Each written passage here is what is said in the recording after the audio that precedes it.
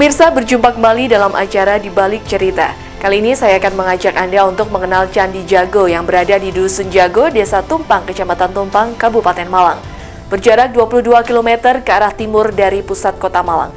Masyarakat sering menyebutnya Candi Tumpang karena berada di Desa Tumpang. Dan kata Jago sendiri berasal dari bahasa Sansekerta yaitu Jajago yang berarti keagungan. Pembangunan Candi Jago sudah berlangsung sejak tahun 1268 hingga 1280 Masehi untuk penghormatan Raja Singosari keempat yaitu Srijaya Wisnuwardana. Seperti apa kisah di balik berdirinya Candi Jago ini? Mari kita ikuti di balik cerita. Kabupaten Malang memiliki wisata yang asyik untuk dikunjungi. Tidak hanya wisata air, adventure, atau belanja, namun juga wisata sejarah yang membuat liburan akan terasa lebih bermanfaat, karena sekaligus belajar dan menambah ilmu pengetahuan. Misalnya berwisata sejarah ke Candi Jago yang terletak di kawasan Jalan Wisnuwardana, Kecamatan Tumpang, Kabupaten Malang. Candi ini menjadi salah satu destinasi wisata sejarah yang ada di Kabupaten Malang. Apabila Anda ingin berwisata sejarah ke Candi Jago, dari kota Malang bisa ditempuh 37 menit dengan kendaraan atau sekitar 16,8 km. Dari Bandara Abdurrahman Saleh bisa ditempuh lebih cepat sekitar 27 menit karena hanya berjarak 12 km. Sarana transportasi tradisional seperti dokar juga masih tersedia yang mangkal di sekitar Pasar Tumpang.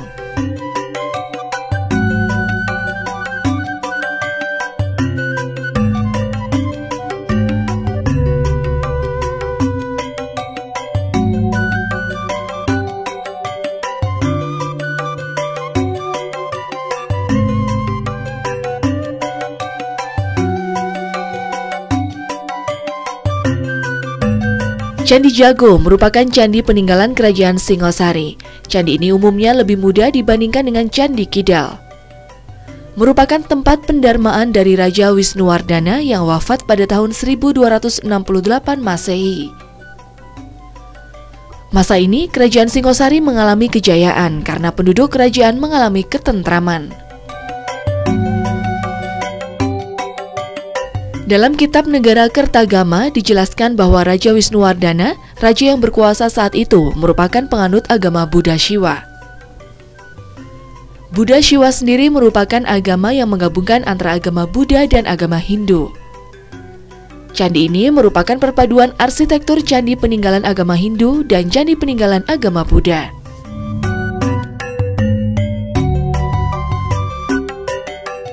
Yang Anda lihat candi sebagai background kita ini khususnya adalah untuk lingkup masyarakat yang lebih kecil dusun ini ya. Itu namanya dusun Jago. Lalu lebih luas lagi pemukiman disebut desa atau kelurahan disebut desa Tumpang. Nah lalu juga posisinya di kecamatan Tumpang merupakan salah satu dari beberapa peninggalan kerajaan Singasari yang ada di kawasan Kabupaten Malang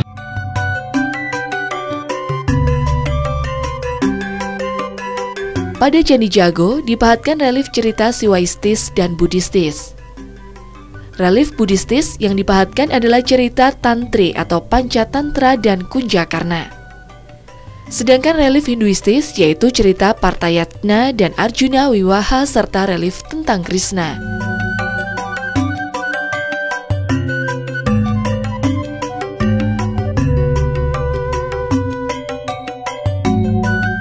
Pemirsa, pada Candi Jago terdapat relief Padma atau terate yang menjulur ke atas dari bonggolnya, yang menghiasi tatakan arca-arca.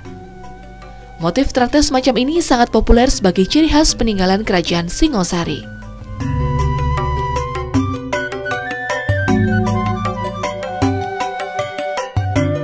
Dalam sejarah candi adalah adanya kebiasaan raja-raja zaman dahulu untuk memugar candi-candi yang didirikan oleh raja-raja sebelumnya. Diduga Candi Jago juga telah mengalami pemugaran pada tahun 1343 Masehi atas perintah Raja Aditya Warman dari Melayu yang masih memiliki hubungan darah dengan Raja Hayam Wuruk, Raja Majapahit yang memerintah saat itu, sebagaimana tercantum dalam prasasti Manjusri.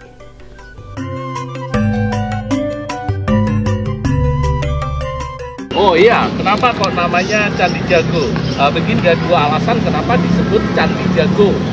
Uh, yang pertama, bahwasanya aslinya sebutan ini di dalam kitab Masa Singasari dan Majapahit, yaitu kitab Pararaton dan kitab Negara Kertagama disebutkan Jajaku dari bahasa Sanskerta. Uh, uh. Lalu masyarakat Jawa itu biasanya mempermudah dari dari Jajaku diambil belakangnya menjadi jago atau lokasi tadi masyarakat menyebutkan karena dusunnya jago sehingga untuk pencarian lebih tepat itu dinamakan nama jago atau candi jago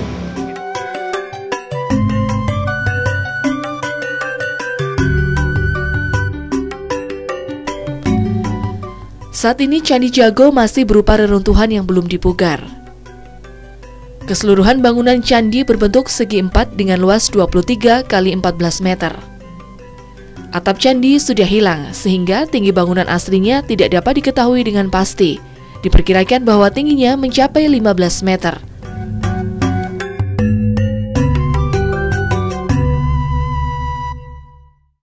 Pemirsa Candi Jago berlatar agama Buddha Tantrayana, merupakan arja dari perwujudan Raja keempat Singasari yang bernama Raja Wisnuwardana yang meninggal tahun 1190 Saka atau 1280 Masehi. Candi Jago selama tahun 1359 Masehi merupakan salah satu tempat yang sering dikunjungi Raja Hayam Wuruk dari Kerajaan Majapahit. Candi Jago pertama kali dipublikasikan oleh Stamford Raffles dalam sebuah buku yang diterbitkannya yang berjudul History of Jawa. Namun siapa yang menemukannya pertama kali juga masih belum diketahui. Pemirsa jangan ke mana-mana, sesaat lagi di balik cerita akan segera kembali.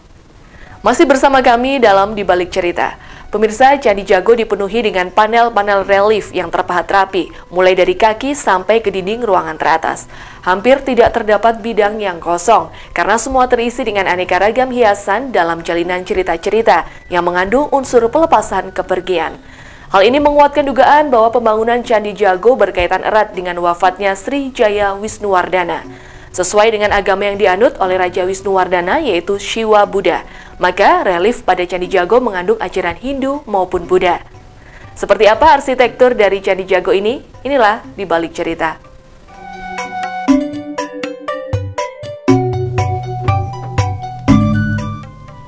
Candi Jago berdenah empat persegi panjang dengan menghadap ke barat. Bangunan candi ini didirikan di atas batu berteras tiga dan semakin kecil ke atas, masing-masing teras terdapat selasar yang mengelilingi candi. Teras ketiga agak bergeser ke belakang merupakan teras tersuci.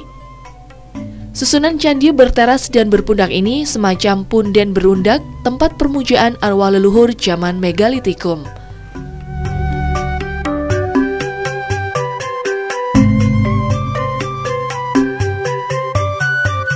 Bangunan candi menghadap ke barat, berdiri di atas batur setinggi 1 meter, dan kaki candi yang terdiri atas tiga teras bertingkat. Makin ke atas, teras kaki candi makin mengecil, sehingga pada lantai pertama dan kedua terdapat selasar yang dapat dilewati untuk mengelilingi candi. Ruang utama terletak bergeser agak ke belakang.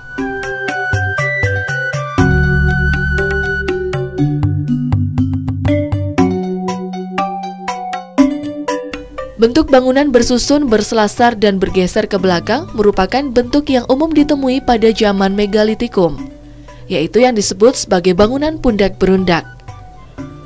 Bentuk itu umumnya digunakan dalam membangun tempat pemujaan arwah leluhur. Menilik bentuknya, diperkirakan bahwa tujuan pembangunan Candi Jago adalah juga untuk tempat pemujaan arwah leluhur.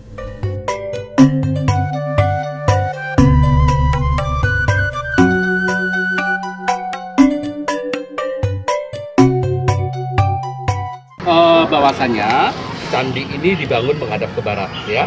Jadi seperti kita ini, ini menghadap ke barat. Nah, terdiri dari tiga tingkat, sama dengan candi-candi lain. Candi itu terdiri dari tiga tingkat yang disebut seperti bagian bawah kaki candi, tubuh candi, dan atap candi. Nah, cuma candi ini berdiri di atas batu candi. Nah, untuk kegunaannya, bahwasanya eh, diambil dari dua kitab ya, kitab Pararaton dan kitab Sastra Kuno Negara Kertagama maka saya ambil dalam salah satu uh, teksnya di kitab negara kertagama tadi itu yaitu dalam pupuk 41 bait 4 ya itu menyebutkan fungsi candi ini bahwa Batara Wisnu di sini yang bergelar Batara Wisnu atau dinobatkan Batara Wisnu adalah Raja Singasari keempat yang bernama Wisnuwardana menjadi raja selama 14 tahun. Kemudian beliau meninggal pada tahun Saka ya, sekitar tahun Saka itu disebutkan Chandra Sakala Cabdana Nawawa Siti. Nah itu kalau diangkakan berarti 1190 Saka.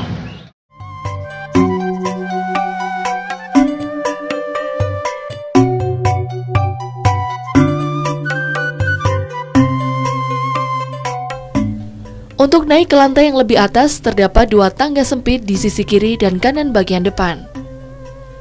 Lantai yang terpenting peranannya dan tersuci adalah yang paling atas, dengan bangunan yang letaknya sedikit bergeser ke belakang. Ajaran Buddha tercermin dalam relief cerita Tantri Kamandaka dan cerita Kunjakarna yang terpahat pada teras paling bawah. Pada dinding teras kedua terpahat lanjutan cerita Kunjakarna dan petikan kisah Mahabharata yang memuat ajaran agama Hindu, yakni Partayatna dan Arjuna Wiwaha. Teras ketiga dipenuhi dengan relief lanjutan cerita Arjuna Wiwaha. Dinding tubuh candi juga dipenuhi dengan pahatan relief cerita Hindu, yaitu peperangan Krishna dengan Kaleyawana.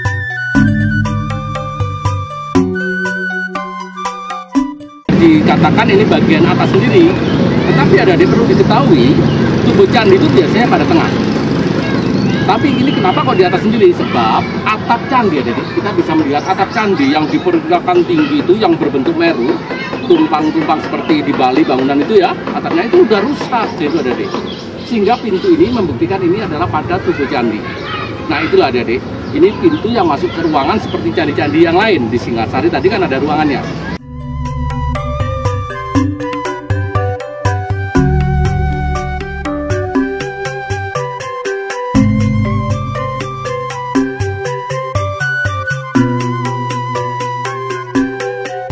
tengah pelataran depan, sekitar 6 meter dari kaki candi, terdapat batu besar yang dipahat menyerupai bentuk tatakan arca raksasa dengan diameter batu sekitar 1 meter.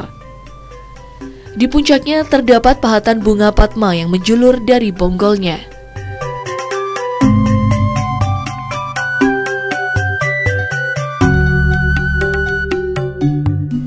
Di sisi barat halaman candi terdapat arca Amogapasa berlengan delapan dilatar belakangi singgasana berbentuk kepala raksasa yang saling membelakangi. Kepala arca tersebut telah hilang dan lengan-lengannya telah patah. Sekitar 3 meter di sebelah selatan arca ini terdapat arca kepala raksasa setinggi 1 meter. Tidak didapatkan informasi apakah benda-benda yang terdapat di pelataran candi ini memang aslinya berada di tempatnya masing-masing.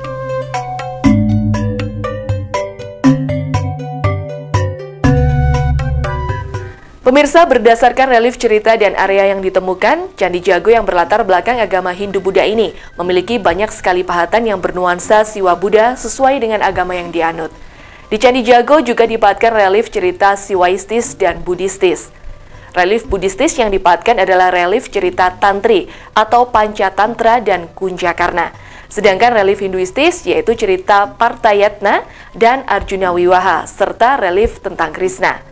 Sesaat lagi di balik cerita akan kembali. Terima kasih Anda masih bersama kami dalam di balik cerita. Pemirsa bangunan Candi Jago merupakan bangunan asli, sama dengan ketika ditemukannya pada 1815 Masehi. Tetapi ada beberapa bagian candi yang tidak berada di kompleks candi. Candi Jago sebenarnya memiliki lima arca, tapi hanya satu yang masih tersisa di sekitar candi, yaitu arca Amogapasa, itu pun tanpa kepala. Amogapasa adalah dewa tertinggi yang memiliki delapan tangan. Seperti apa pemirsa relief dan juga arca-arca yang tersisa di Candi Jago ini? Inilah di balik cerita. Pemirsa, relief cerita Tantri dipahatkan pada bingkai atas teras yang pertama dengan isi cerita tentang binatang. Dilanjutkan relief Kunjakarna yang bersambung dengan bingkai bawah kedua teras menceritakan kisah perjalanan Kunjakarna, murid Buddha Wairocana ke neraka, tempat penyiksaan sahabatnya Purnawijaya. Setelah kembali ke dunia, mengajak Purnawijaya belajar agama Buddha, sehingga dosa-dosanya diampuni.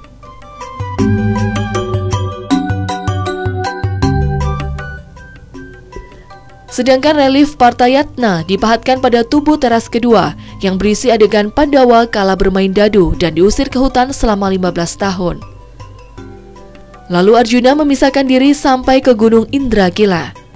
Relief Arjuna Wiwaha dipahatkan pada bingkai bawah teras ketiga yang merupakan kelanjutan cerita Partayatna Mulai dengan Arjuna bertapa yang digoda bidadari sampai dengan Arjuna memanah babi hutan bersama-sama Dewa Siwa yang menyamar sebagai pemburu. Arjuna diminta untuk membunuh Niwata Kawaja yang mengganggu kayangan sampai Arjuna menikah dengan Batari Supraba. Nah setelah itu tidak mengalami pemugaran total, tapi pada masa Belanda itu e, diperbaiki sedikit-sedikit ya batu yang bisa dipasang, cuma itu aja. Tetapi yang dimaksud pemugaran itu begini ya Dede, e, kalau pada masa kerajaan dulu pernah memang, yaitu dari kebiasaan raja dulu, nah itulah. Pada masa kejayaan Majapahit itu biasa merubah bangunan-bangunan suci dari eh, raja-raja uh, sebelumnya. Karena ini peninggalan Singasari lalu uh, masa Majapahit itu memperbaiki candi dari leluhurnya. Yaitu pada tahun 1343 sampai 1350 yaitu sebagai arsitekturnya. Pada masa itu untuk memperbaiki candi ini adalah Aditya Warma. Nah itu, tapi saat ini candi ini belum dibugar pada masa setelah candi itu ditemukan kembali. Iya, gitu ya.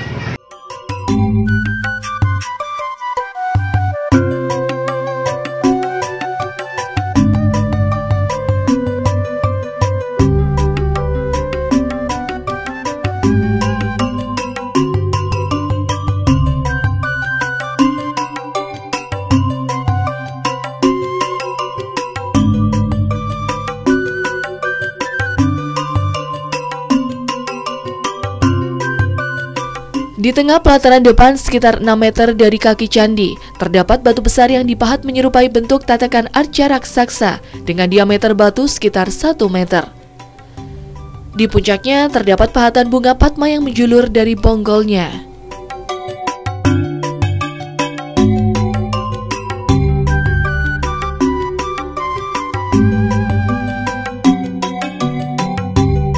Sisi barat halaman candi terdapat arca Amogapasa dan empat pengawalnya, yaitu Sudana Kuma, Camatara, Wayawika, dan Brekuti.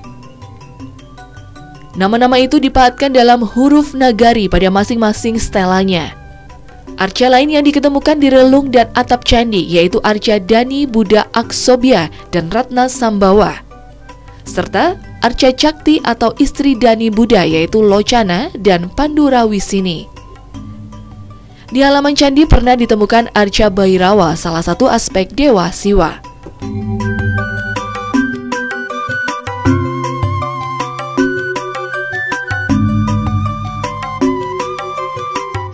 Arca Mogapasa ini berlengan delapan di latar belakangi singgasana berbentuk kepala raksasa yang saling membelakangi. Kepala arca tersebut telah hilang dan lengan-lengannya juga telah patah. Sekitar 3 meter di sebelah selatan arca ini terdapat arca kepala raksasa sekitar 1 meter.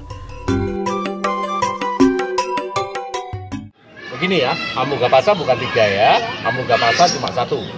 Ini arca yang dikatakan arca Indo atau arca Indi yang dulu tempatnya atau posisinya ada di ruangan candi atau di bilik candi. Nah, arca ini yang dikatakan Bapak ulangi lagi yaitu arca perwujudan Wisnuwardana sebagai arca Bodhisattva Awalukiteswara namanya Abu Kapasa. Tuh, kok kenapa Bapak tahu itu? Sebab adik-adik bisa melihat ke atas itu pada lapiknya itu ada huruf nagari ya jadi ya? Langsung ya langsung, langsung. huruf nagari itu langsung. apa yang disebutkan oleh bapak itu tadi? Nah arca ini sayang kepalanya juga sudah hilang gitu ya. Dan posisinya di sini lalu tangan-tangannya ini ada delapan sayang tinggal beberapa ya. Itu oh, bisa melihat tangannya di sini yang bagian depan ini putus. Itu memegang pasa pasa itu seperti lasso itu ya jerat tali nah itu kalau di pelajaran Buddha akan tahu itu kehidupan gitu ya kehidupan lalu aksamala atas B. Lalu ini pustaka. Pustaka itu buku adik-adik ya. Lalu tridata lalu padma. Ini sayang putus. Lalu Kamandalu tempatnya Amerta air ya. Lalu yang kedua tangannya ini yang depan putus yang ini itu bersikap waramudra dan abaya mudra waramudra itu memberikan amal kebaikan abaya mudra itu apa abaya itu bahaya ya jadi menolak bahaya itulah nah inilah artinya yang tinggal satu yang tadi pengiringnya Bapak katakan ada di Museum Nasional Jakarta ini. Nah ini dulu mestinya berarti ada di Bilik Candi.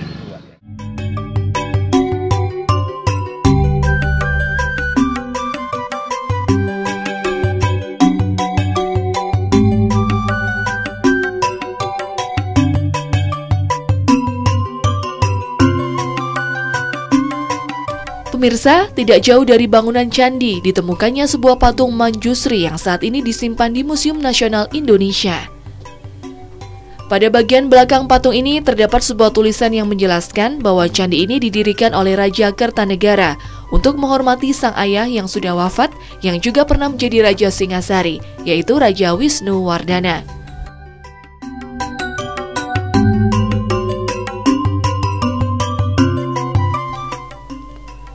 Patung Majusri sendiri dianggap sebagai perwujudan dari kebijaksanaan. Arca ini menduduki bunga Padma atau bunga teratai yang bergemerlapan, di mana di tangan kanan dari sang arca memegang pedang yang memiliki makna perlawanan terhadap kegelapan. Pada tangan kirinya terdapat buku yang berupa naskah daun palem. Serta pada dada arca ini terdapat tali yang melingkarinya. Selain Arca Manjusri di sekitar Candi Jago, juga ditemukan Arca Dewi Brukti yang memiliki banyak tangan.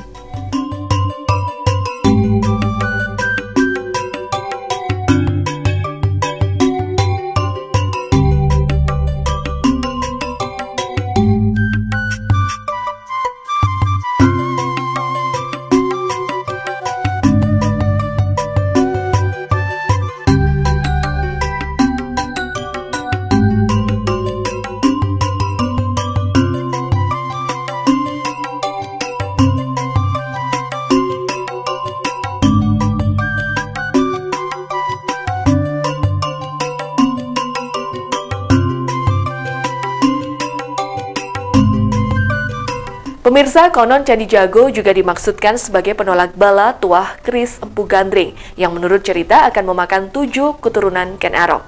Wisnuwardana juga mengangkat Narasingamurti yang masih saudara, namun beda bapak sebagai pendamping utama dalam menjalankan pemerintahan, sehingga periode pemerintahannya disebut dengan dua naga kepala tunggal.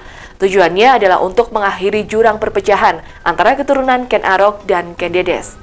Nah, keberadaan candi sangat penting juga untuk diketahui bagi generasi muda untuk membangkitkan semangat dan daya juang bahwa leluhurnya adalah orang-orang tangguh dan pantang menyerah. Sekian di balik cerita kali ini, sampai jumpa di episode minggu depan.